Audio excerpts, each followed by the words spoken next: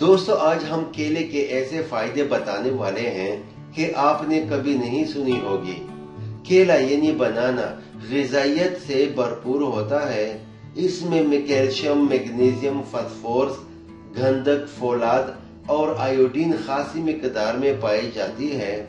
इसमें vitamin A vitamin B vitamin C बकसरत मौजूद होते हैं। हयातीन की मौजूदगी के बायस ये दांतों के इमराज के लिए भी बहुत मुफीद होता है। केले में प्रोटीन और चर्बी कम मकदार में होती है, लेकिन निशास्ता काफ़ी मकदार में पाया जाता है, जिसकी वजह से ये जिस्म को तवानाई फराहम करता है। दोस्तों, अगर आप जानना चाहते हो मेडिसिनल प्लांट के बारे में जानकारी तो हमारे इस चैनल को सब्सक्राइब करें और बेल वाले आइकन को भी दबाएँ, ताकि हमारी हर नई वीडियो की नोटिफिकेशन आपको ज़रूर आती रहे। बीमारियों की वजह से केला यानी बनाना बहुत ही खूबियों का हामिल है। ये कई इमराज में मुफीद होता है। खुशक केले का सफूफ, यानी आटा, दस्तों और पेचस के लिए बेहतरीन गजाई दवाई है। दस्त यानी पेचस और मंगरई की शिकायत में केला दही के साथ मिलाकर खाने से फ़ायदा होता है। अगर दही में जफरान भी शामिल कर दी जाए तो बहुत तेज़ी से फ़ायदा होता है। बाज लोग जिस्मानी एतबार से कमज़ोर होते हैं और इनका जिस्म दुबला पतला होता है।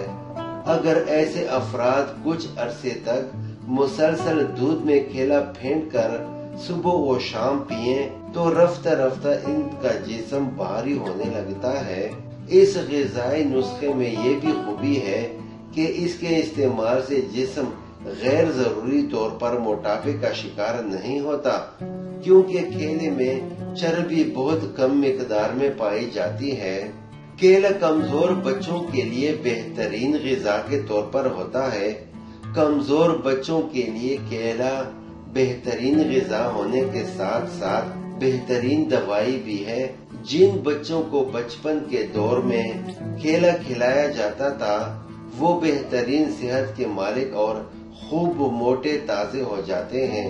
कमज़ोर और लागर बच्चों को अगर रोज़ाना दो गिलास दूध के हमरा दो केले खिलाए जाएँ तो इनकी लागरी खत्म हो जाती है।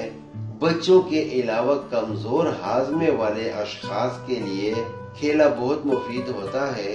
जिन बच्चों की नशोनुमा सुस्त हो और जिस्म कमज़ोर हो इन्हें केले को मकई के भट्टे की तरह आग पर सिम कर, भून कर खिलाने से वो मोटे ताजे होने लगते हैं। केला दूध में मिलाकर या घी में फ्राई करके खाने से जिस्म में तवानाई पैदा हो जाती है और कमज़ोरी खत्म हो जाती है।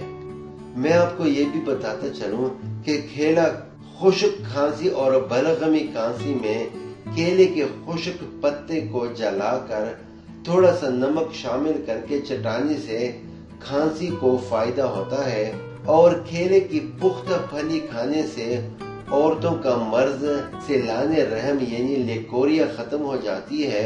इसके साथ नक्सीर की शिकायत में केले के तन्ने का रस सुंगाने से फ़ायदा होता है और ये रस पिलाने से पेशाब जलकर आने की शिकायत खत्म हो जाती है।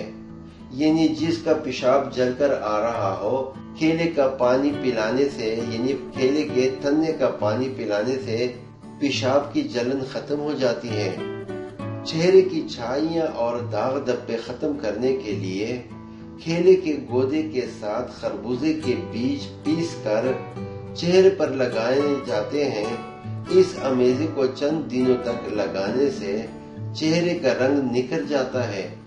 और दाग और धब्बे खत्म हो जाते हैं। मैं आपको ये भी बताता चलूँ कि सांप के काटने की सूरत में अगर किसी शख्स को सांप काट ले तो फ़ौरन केले के दरख्त के तन्ने से ताज़ा रस निकालें। इसके दो प्याले मुतासरा शख्स को पिलाएँ। सांप के काटे के लिए ये मुजरब इलाज है। अगर ये रस बद मज़ा होता है, लेकिन इसके पीते ही जहर का असर तेज़ी से खत्म होने लगता है और ये रस पेशाब की जलन को भी खत्म करता है।